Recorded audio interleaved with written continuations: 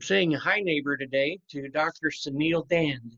And uh, Dr. Dhand, I believe you're in uh, New York, is it? And if you would kind of tell folks who you are, a little bit about your businesses, and uh, maybe even get right into uh, you just spent the last week uh, on a COVID floor treating patients. Thank you for uh, giving us part of your time. Sure, it's my pleasure to be here, Jodie. I do work in New York as well, thankfully, with the situation there, I'm actually not in New York at the moment. I'm working in Massachusetts. So I am in the Boston area and I work in a, a couple of different healthcare facilities. I, to, just to, to back up a bit, I'm an internal medicine doctor.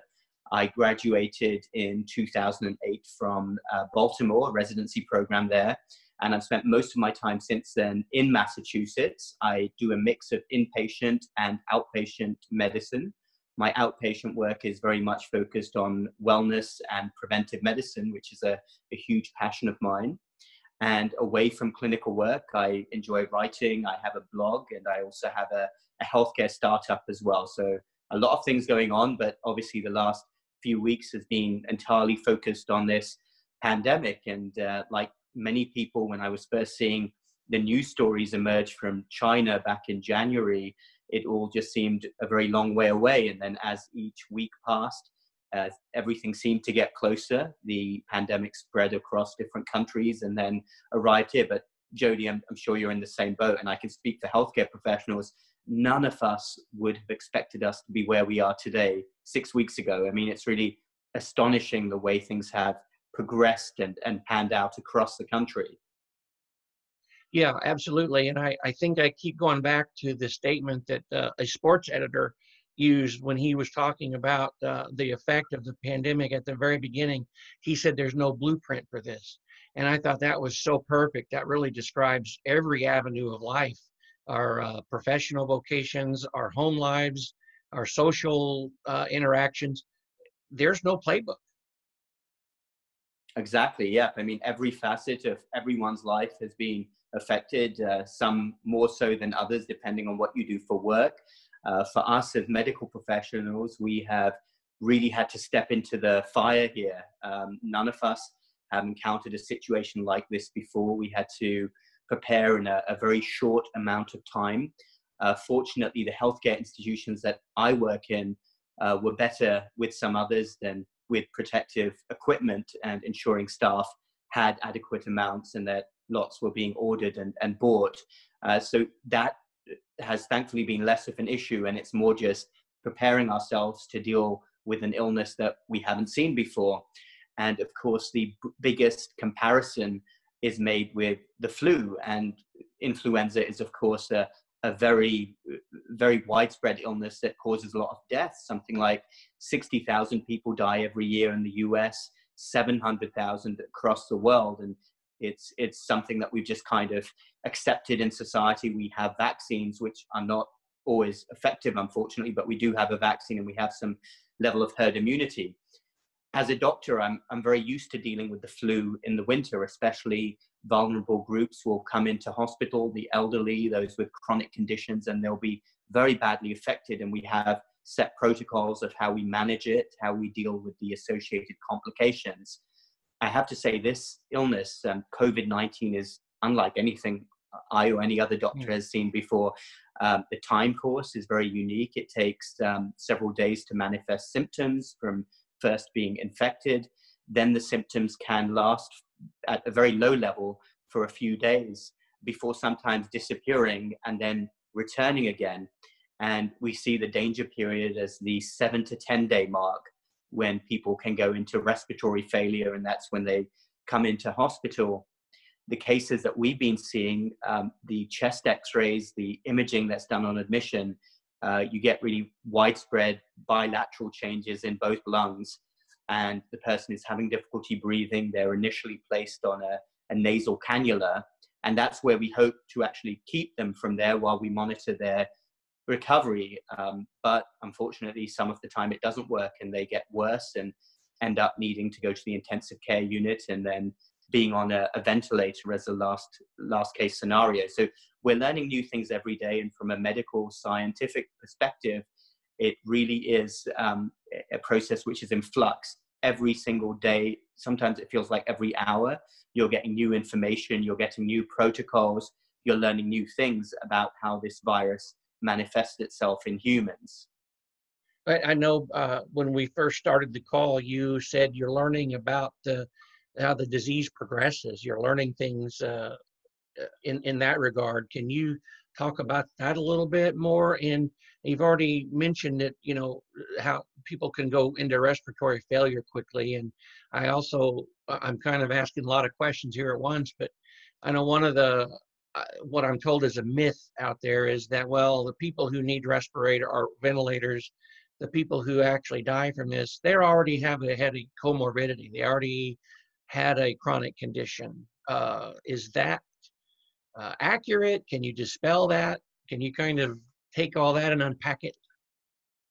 Yeah, I mean, this is a, a very important question you asked, Jodie, is who is most likely to be affected by it because there's such a large group that are barely affected. Many are completely asymptomatic, which makes dealing with this illness and planning for it very difficult. Uh, some of the risk factors you've already touched on. So, undoubtedly, um, what we know is that the elderly population, those over the age of 80, anyone with any comorbidities, specifically those affecting the heart or lungs, smokers are heavily at risk. Um, overweight and obesity is also um, being seen to, to really affect people who get coronavirus disproportionate numbers who are in the ICU are overweight or obese, which obviously is associated with other comorbidities, and then male sex as well. Um, being male, and this is being witnessed across the world, is a risk factor. Those are the main five, I would say, and those particular groups need to take extra care. Uh, some of the tragic cases, which we're obviously seeing on the news of young, healthy people, are very much out there as well, and, and it's very scary uh, those are obviously the, the minority. Um, but for some reason, what we're finding is that COVID 19 really badly affects some young people with no medical history, and we're not sure why. And there could well be a genetic part to this as well, because we've seen stories of families where three members will be in the ICU and they're not any more at risk than other families. Mm. Yeah, this is, is something we're learning more about um, and, and needing more research. But I would definitely say, say that those risk factors are the, the really big ones for getting sick from COVID. And, and what is the course of treatment? I mean, there's no cure and there's no uh, medication to, uh, I guess, other than treating the symptoms, I guess. Uh, so uh, what what can you do? What is the treatment once you're in the hospital? Exactly. Well, well this is where um, we don't have a lot to offer at the moment beyond supportive treatment, as with a lot of viruses that affect the respiratory tract. So the first thing we want to do is make sure that they're on oxygen, enough oxygen is getting to their lungs. Then we want to ensure that uh, if they have fevers, we're giving them medicines to bring the fevers down, such as simple Tylenol, which we can give orally or intravenously. Uh, beyond that, if they're very dehydrated or have gone into kidney failure, we would give them fluids, but we want to be careful about that because we don't want fluid to build up on their lungs. There are other treatments which are being uh, proposed. Uh, many are currently undergoing trials. I, I, can speak for my hospital is that we are using a combination of two medications, hydroxychloroquine and azithromycin, for a five-day course. And generally, I've seen that they've been well tolerated. Just over five days, it's unlikely to lead to any major complications, and they're, they're common medications anyway. The jury is still out on that combination um, we're going to get a lot more data in. And uh, you know, one, uh, two, two, th- two other things. One is the renal failure. I, am reading that this has a kind of under the radar, under the public's radar, very much on the medical community's radar, uh, that uh, COVID uh, has a tendency to can create uh, problems with the kidneys. And also, then what is the quality of life after recovery? What are the lasting effects of uh, having COVID 19? Yeah, uh, well, the renal failure, um, from what I've seen in patients, is very much linked to if they're dehydrated or overwhelmingly septic. So we give them fluids, and then that should correct. And I haven't seen that become a, a long-term issue. Where, where I can envision it being more of a problem is in someone who's critically ill and in what we call multi-organ failure. So lots of different organs are affected. And if somebody actually does, unfortunately, go into kidney failure and require dialysis, that is something that would be difficult to come off in the long term. I mean, hopefully, if they're younger, it can reverse.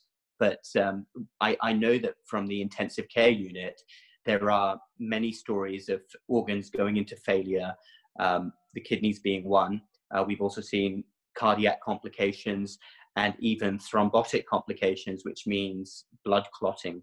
Um, and all of these things can happen with any overwhelming illness, whether this is more related to COVID and coronavirus, time will tell. As far as you said, your healthcare facility, your, your hospital has done pretty well providing PPEs for uh, the, the professionals who work there. Uh, it's my understanding that that's not the case uh, generally for hospitals, that uh, there are some that are really struggling to find uh, the protective equipment. Uh, are you hearing from colleagues who, who have stories like that? Oh, yes. Yeah, very much so. I know in lots of different parts of the, the country, including, as we said, New York, there are big, big issues. And many healthcare facilities have, have got this wrong. They've kind of gone into it at first saying you didn't need a certain level of protective equipment. But what I, I've noticed, at least where I've been working, is doctors have immediately pushed back and said, no, we need N95s, we need face shields. Uh, the biggest issue is with the N95s and ensuring an adequate supply of them. And I don't have any doubt that any healthcare professional, whether it be a doctor, nurse, or aide, who goes into a room of someone with coronavirus should be wearing an N95. Okay. And, and in your experience on the floor of uh, treating and monitoring uh, coronavirus uh, COVID patients, uh, are they sicker than, let's say, I don't know, you compared it earlier to influenza, you know, that's one, the pandemic we think of. Are these patients generally just uh, less well, just sicker than uh, typical typical patients?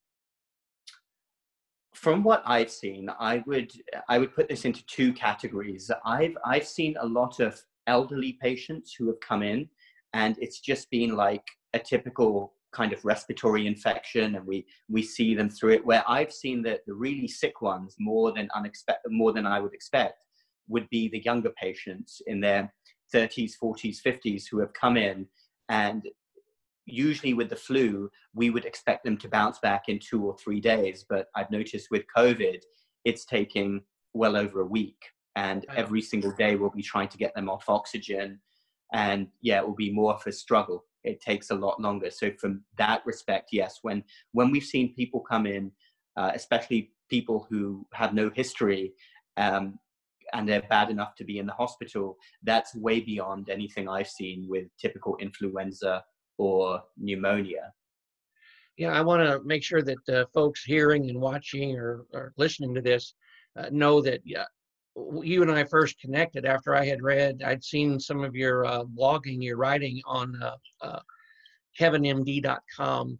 And, uh, you know, there's a lot of great healthcare professionals and physicians, nurses who are wonderful writers. And you certainly, I think, are at the top of that list for me. Uh, you, you communicate so well, and and and here's my my point is you do such a good job of humanizing medicine. Um, you know, you you can you talk the clinical talk, uh, but you're not a textbook. You know, you don't glaze people's eyes. Maybe you could if you wanted to. Uh, oh, I can, yeah. Okay. Uh, but that bores me as well. so here's my my humanizing question here about this uh, disease and the effect it's had on uh, families and society because as I understand, uh, uh, many uh, people suffering from uh, COVID-19 are suffering alone without family members around them providing care or encouragement. Uh, and first of all, is that true? And then secondly, if so, uh, that's got to put an additional incalculable strain on the nurses and the staff. Absolutely, yes, and and um, the people who come into hospital, practically every hospital now has a, a no visitation policy um, to stop with the spread of virus, and that's understandable. That the one time where we do actually uh, bend that rule is if somebody is on what we call comfort care or uh, they're about to pass away and it's imminent, then we allow family to come in and obviously say their goodbyes and be gowned up and wearing a mask. Yeah, that's that is allowed. But um, yeah, I mean, typically during any illness, what you want is family and support around you, and it's it's very difficult for for all of our patients right now. It's difficult for us as doctors because we want our patients to not feel so alone and to have a morale boost. I've seen various things being done actually. We're taking iPads into the room, allowing FaceTime, um, making frequent phone calls. I'll often get on speakerphone with the relative in the room with the patient, and we'll all talk together. Uh, just to, just to let family know. I mean, often with any illness, family is actually more worried than the patient is, and we we have to we have to take that on board and, and not forget our compassion in healthcare and have this sort of strict Gestapo-like policy. Absolutely not. You can't come into hospital. It's us dealing with your loved one. That's not what healthcare is about. We've we've made this policy for a certain reason, but we definitely don't want to make patients feel even more lonely while while they're here. So I can speak for my facilities that we're doing everything we can to keep family in the loop and call them more and, and get them on the line with the patient while we're in the room as well. Okay. Uh, Dr. Dhand, you've seen the the images, the pictures, the beaches in Florida, the people who are uh, obviously not six feet apart. They're out enjoying the sun and the surf. Uh, I went. Uh, I told you just a little bit ago. I, I, I ventured out a while ago to go to the pharmacy, and I actually went into the store. First time I've been out in a store probably in about 30 days, and this was the uh, Hy-Vee on uh, Broadway here in Columbia, and they've even have big circles now that that mark six feet apart, uh, and then they also have uh, one-way like road markers on the floors showing the aisles are one way. It sort of snakes around. Now, uh, not long after being in that store, and I'm the only one besides staff wearing a mask. I did not see any other person in there wearing a mask, and it wasn't exactly packed, but it wasn't exactly light either. Uh, and and and a gentleman passes me. I'm going down my one way. I'm going the right way, you know. And he he comes up the other way. Younger guy, I don't know, maybe 30s. He's not wearing a mask.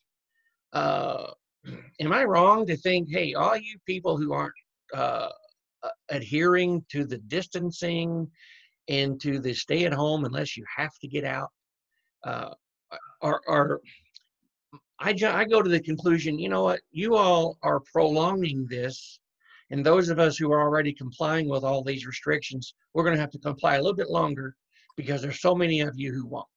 You're the, the physician. What's your comment on that?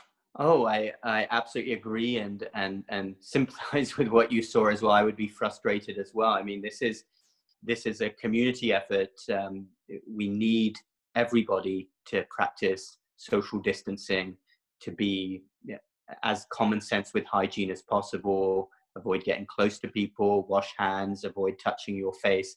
And the only way this is going to come to an end is when we see those peaks and then drops off in cases. I mean, nobody wants to see the economy shut down forever, and it's not going to be. We are going to restart. We have to restart, uh, but we want to do that sooner rather than later. And everybody needs to play their part and take it very seriously. And anyone who isn't taking it seriously is welcome to come with me on ward rounds or virtually, or I can just tell them what's happening and, and show them that they're young people who are getting very sick right now and it's unique. We haven't seen it before, but we would rather keep the hospitalizations and, and the unfortunate deaths as low as possible and not have millions of people dying. You only need to look around you, uh, turn on the news, look, look what's happening around the world. This is not something that's unique to the US. It's not something political either. It's something which every country, no matter what their government from China, Russia to France to England to countries now in, in Southern Asia and Africa are all dealing with this problem and are, ending up doing the same thing initially, which is social distancing and placing people under lockdown. And if it was purely political or there was some other motive, everyone wouldn't be doing it. Sure. Well, and, and I like I appreciated those distinctions you just made, and I wondered, are there any other uh, myths to dispel, or maybe information that uh, you think the public should be more cognizant of? Um, are, are what what would be on that list for you? Like, well, the public just doesn't exactly understand A, B, or C. What would those be? Right. Well, firstly, I would say in terms of symptoms, although a lot of people are asymptomatic, I would encourage anyone to look out for certain low grade symptoms. Um, one of the most common is loss of smell, and this is being reported across the world. Uh, people will just have this funny sensation in the morning that their coffee is smelling different or they can't taste their breakfast. And that may even be your only symptom. If that happens to you, go and get tested right away, no matter where you are, whether you're in Missouri or New York. Uh, that is a, a, very worrisome symptom to someone who has never had that happen before. Uh, that would be the first thing to be, I, I, would urge anyone to just be on the watch out for any symptoms like this. And especially as we're approaching the summer months now, you shouldn't even be getting symptoms of a cold. If you are, that's, that's something, that's a red flag for, for possible COVID. Um, beyond that, I would say if you do get afflicted with COVID, the chances are that it's going to be a very mild illness and you will recover at home. If after a few days you start to feel more short of breath and unwell, difficulty breathing, that would be an immediate indication to go to the hospital because there's probably only a short window for everything to be reversed and for you to be okay as opposed to in a catastrophic situation.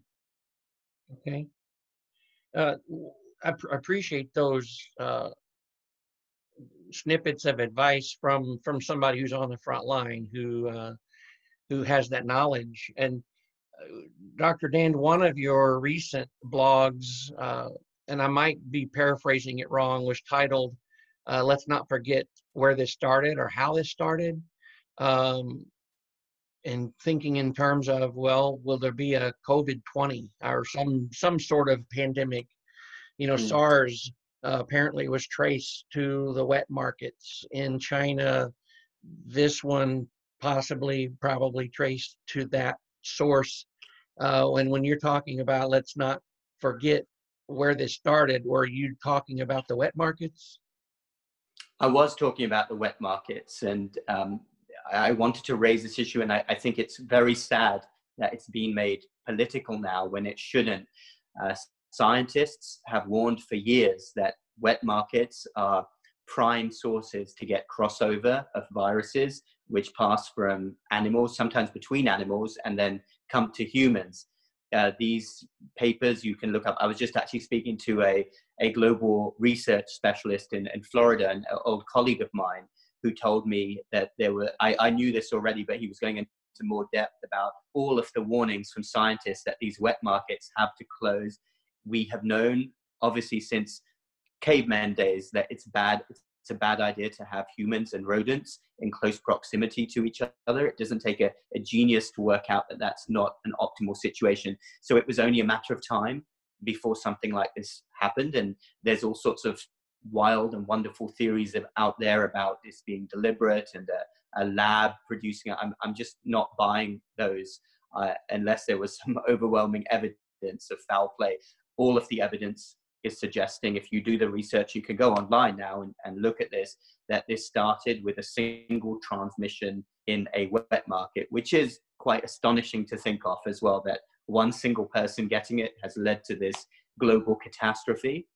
But the international community really needs to put pressure on the Chinese government. And this is nothing against China. I'm a huge fan of Chinese culture. I visited Hong Kong. Many of my best friends are Chinese. I, I, I love the people, I love the culture. But the Chinese government has to be held to account and also immense pressure applied to close those wet markets and then also bring to account what happened at the beginning of this whole pandemic when there was a lot of silence there's evidence that uh, the government knew that this whole pandemic was, or it wasn't a pandemic then, it was just a region of infection spreading in Wuhan. They shut down the rest, travel to the rest of the country, but allowed international flights in and out, which is inexcusable. and then the harassment, the deliberate harassment of doctors when they wanted to keep it quiet is also just awful if you see what happened to those initial doctors. Many of them, many of them ended up dying themselves of, of COVID. Um, these things have to have to be brought up. But I don't think being silent on them out of some, as I put in my article, some misguided sense of political correctness or feeling that you're going to offend anyone, that's not going to help. Um, otherwise, we're just waiting for this to happen again. And, you know, unfortunately, there are players out there, though, who politicize this at every turn. Uh, and, and, and I'm talking about players from every political stripe. Uh, so I appreciate you boiling it down to this isn't about politics. This is about public health. This is about uh, human life. And, um, you know, eh, where do we go from here, though? Because you're dealing with a government that is pretty secretive and it's very, uh, uh, keeps a, a, pretty good grasp on uh, people's uh, ability to, to speak, and, you know, including the exactly. first, the first physician uh, of many, I guess, who actually died from uh, COVID.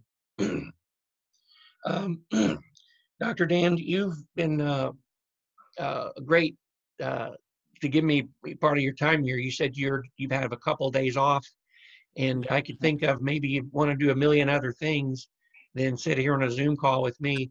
But when we first connected a couple of years ago for a podcast episode, uh, I remember we talked about some heavy healthcare type stuff value-based care and those sorts of things.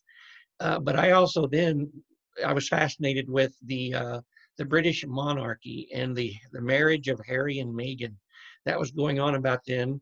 And you yeah. had some particular perspective because you you grew up um, kind of a stone's throw from Windsor Castle, right? And uh, uh, can you kind of talk about your life in uh, in the UK there? And uh, and then I'm going to quiz you on uh, if you love to binge the uh, medical shows that my wife and I enjoy, uh, produced in the UK.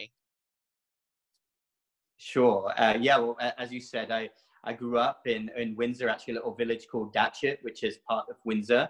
I spent uh, all of my year younger years there, teenage years before I went to, to university, so I could practically walk to Windsor Castle. We used to see the royal family, the Queen, her husband, uh, Prince Charles, Diana, when she was alive, going past all the time in their, their cars. And um, I, my, my views on the monarchy have changed over the years. I, growing up, was a little bit more rebellious. Now I'm a, a huge fan. I, I think that having a unifying factor like the monarchy is, is great. I, I realize that might be a sensitive topic in, in the US because you fought for a long time to get rid of the monarchy. But I think as they exist now in the UK, with essentially no political power whatsoever, uh, they can be a, a, very unifying force and they do a lot of good. A lot of money is raised for charities.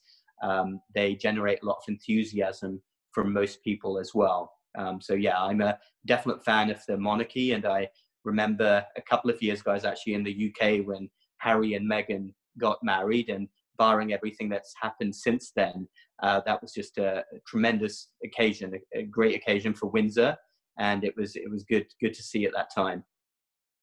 And as far as uh, good to see, uh, I've mentioned earlier, my wife and I uh, really love medical shows, uh, and UK produced shows, and we have really we're very enamored with Martin Clunes Oh, and oh yeah. I'm hoping that you you are also a fan of Doc Martin. Uh, or uh, let's see, we just started watching Casualty, London Hospital. It's oh yes. Sort of, sort of a docudrama and very uh, very graphic, very front and center. Um, you know, my wife has watched for a few years now. Call the Midwife, and now I get the latest episodes, and it's just it's just really riveting to me. Uh, do any of those shows register with you? And do you happen to know Martin Clunes? Because I'd love to have a call with him like this. well, I'll do my best. I'll, I'll, see if I can gather some connections. Uh, Martin Clunes has been famous for a long time. He's been on the comedy circuit. I'm a, a fan of his. Uh, I haven't seen uh, Doc Martin. I'm sorry, I must confess. I'll put it on my list. Um, Casualty um, has been a show in the UK for, for years on BBC One. I have seen that, uh, not for a few years though, but it has been very popular. there's other medical shows I, I know I can recommend to you if you like. Uh, there's one called Holby City, which is also very good as well. Okay. Check that out. And uh, you, I remember you telling me last time that you like British comedy as well. Yes, yes, very much medicine. so. Because obviously, I'm not going to come home now and watch medical shows. I get it. not it. in this yeah. situation. Yeah, yeah, I get it. I get it. Uh, no, yeah, I'm a little more. Uh, you know, we, my wife and I will agree with on Fawlty Towers. She loves Oh, that yeah. one. But when it just comes to the complete slapstick foolishness of Monty Python, I'm the only one who still laughs at that stuff. Um, you know, and we, uh, the IT crowd is a, uh, a another one, and I call it kind of like uh, The Office meets Monty Python. And um, anyway, you know, we we really enjoy uh, that. It- We just think that those are produced uh, generally much better than American shows. And you know, I'm absolutely a red, white, and blue American, but we really appreciate the uh, the UK productions. Yeah, made some great shows over the years. I, I believe the classics were all from the 60s to early 90s as well. There's another one called Keeping Up Appearances. Have you seen that? I have not. Okay, that's a good one. Your, your wife might enjoy that one more. It's uh, really, really funny. Um, one Foot in the Grave is another comedy, which is an absolute classic. Okay. I think we might have seen one episode of that one and thought, well, we might want to come back to it. Um, listen, I appreciate you taking some time to just kind of have a little bit of lighthearted chat here. And uh, after our conversation about COVID 19 and this uh, pandemic, um, Dr. Dhand, what could you or what would you like to maybe uh, leave folks with? Um, we've talked for, you know, 25, 30 minutes almost. And, um, you know, people maybe see this or watch this and they go away. What do you want them most to remember? Uh, well, firstly, Jodie, I have to say it's been an absolute pleasure to to join you again, talk to you, and um, I really feel like we've gone through some very intelligent and important questions. Um, I would just say to everybody to take this seriously. It's going to be over. Nobody, nobody in the medical community, nobody out there who's a leader wants to see this last forever. We just have to get to grips with things. We have to get on top of the pandemic, make sure that the curve, which we all know about, is well and truly on the way down. Future strategies are numerous in their possibilities. We, we can go a number of different ways from here, but the most important step now is that everybody just stays at home, practices common sense hygiene, continues social distancing, and this will be over. And we're all keeping our fingers crossed. It will be sooner than we think. I want to resume my my normal life too. Every every doctor's been thrown into it and, and doesn't want to be there seeing this degree of illness at the front lines. We're not used to it. I'm used to seeing every day heart disease, lung disease, diabetes, strokes coming into the hospital and, and focusing on those because we've got enough illness out there that can make us sick. Let's get on top of this, whether it's a vaccine in the future or effective new treatment, we, we will get there. Uh, but everybody just be patient. Okay, great. Thank you so much, um, and uh, appreciate you joining our my little spot here in the Midwest from your place there on the East Coast. You make the world a little bit smaller. That's why we call this high neighbor because really, if anything has shrunk the world even more, it's a pandemic, right? That's very true. Thank you again, and uh, bless your efforts and of your your colleagues. You all are heroes. Thank you, Jodie. You stay safe too. Thank you.